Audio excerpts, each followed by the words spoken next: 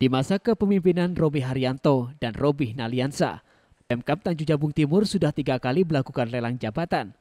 Total anggaran yang terserap hampir menyentuh angka 1 miliar rupiah. Lelang jabatan pertama kali dilaksanakan pada 16 Januari 2017, lelang kedua pada 16 Oktober 2017, dan lelang ketiga tengah berlangsung untuk menjaring calon sekda baru.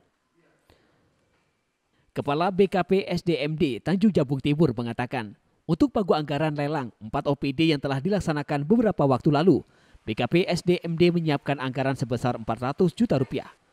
Anggaran tersebut diplot di APBD Perubahan 2017.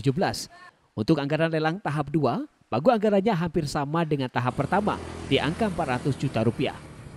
Untuk tahap ketiga yang tengah berjalan, belum bisa dipastikan angkanya karena prosesnya masih berjalan.